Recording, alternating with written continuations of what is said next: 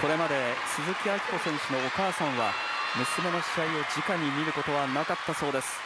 でも今回だけは特別の一日きっと会場内のどこかで祈る思いでこの空気を共有しているはず。和服姿の方です。さあもう自分だけのために滑るのではない。誰かのために滑りきる。ショート2位からもちろん。逆転の優勝も目指して。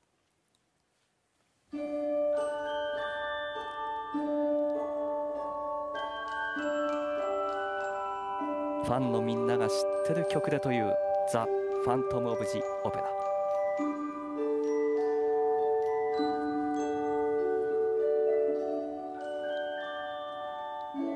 最初に2つコンビネーションジャンプ。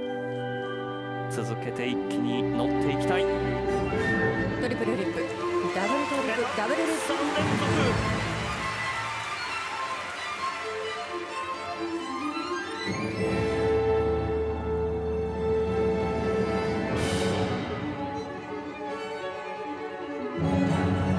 ダブルアクセル。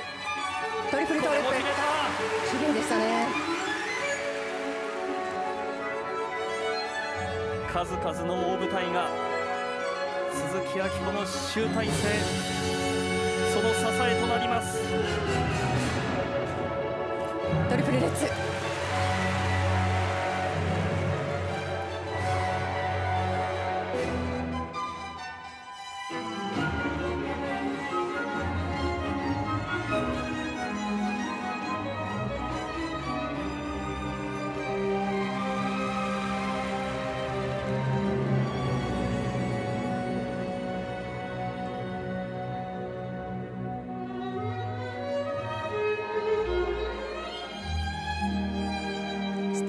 テップシークエンスヒロインのクリスティーヌが鈴木明子に移り変わります。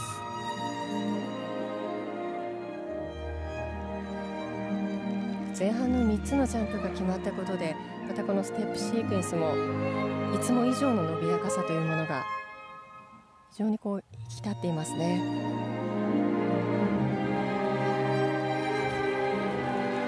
音楽をとてもよく表現していると思います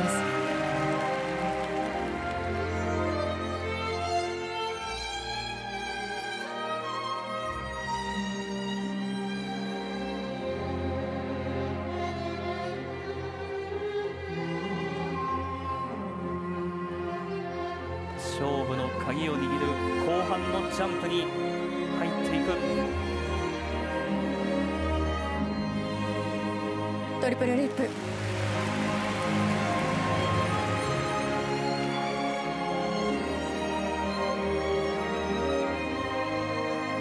くスピードにも乗っています。トリプルループ。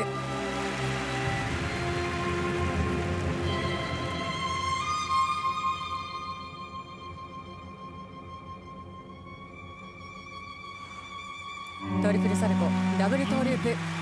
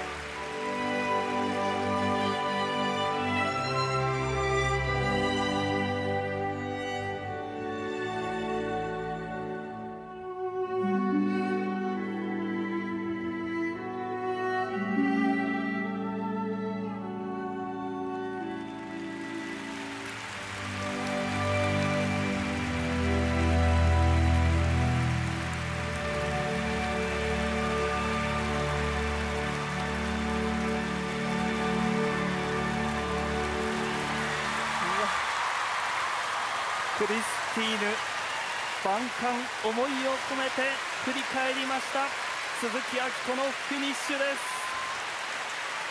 自身13回目の全日本選手権。そして最後のステージでガッツポーズ。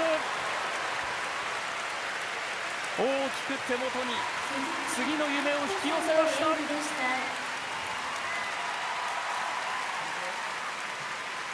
表情がすべてを荒川さん物語ってますね。そうですね。今日はもうここが始まった時から緊張感ある舞台のはずなんですけれども、見ているこちら側も引き込まれるような音楽と、はい、そして鈴木選手の動きというのが重なり合っていましたね。それだけにやはりジャンプのタイミングというのもぴったりと自然な形で、はい。織り交ぜられていましたし、一つ一つが本当に今日はすべてがよく合っていたと思いました。はいまあ、最後の戦い全日本選手権を控えて実は大きく落ち込んだ時期もあったという鈴木明子。その鈴木をもう一度リンクに向かわせたのはお母さんの一言。私のために滑ってちょうだい。そのお母さんが見つめる前での素晴らしいオペラ座の怪人でした。素晴らしかったですね。あの本当にこの最初から最後まで確実に要素を決めることができたと思うんですよね。はい、これはもう本当にその加点のつくものもすべてそうですし、うん、あとは、えー、スピンの取りこぼしもほとんどなかったと思うんです、はい、まあ、これがその最終的な戦いの時にこういうことは本当に必要になってきますので、そして鈴木明子選手が持つあの世界観、はい、それは演技構成点の方でも大きくポイント加算していくと思いますね。これは素晴らしい。いやいいやりました。いつもはお母様もエキシビションだったら見に行けるんだけれどもとても競技会は見に行けませんということで今まで遠慮されていたそうなんですけれどもこの舞台ばかりは違います。そしてもちろん長久保コーチも手を叩いて28歳のガッツポーズ力がこもりましたオペラ座の怪人は指定のドラマ。もちろん先生のことをファントムというわけにはいきませんが思いは常にそこにあった。さあお母さんも点数を待っている。そしてリンクには安藤美希次から次へとめくるめく女子のフリーのこの展開の中で今手拍子に応えてキスアンドクライで立ち上がって手を振ります。鈴木さんの得点。全日本優秀の得点フリー144.99、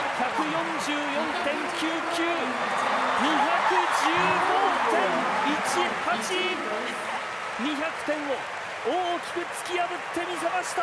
演技構成点も4項目が9点台ですね。見事なオペラ座でした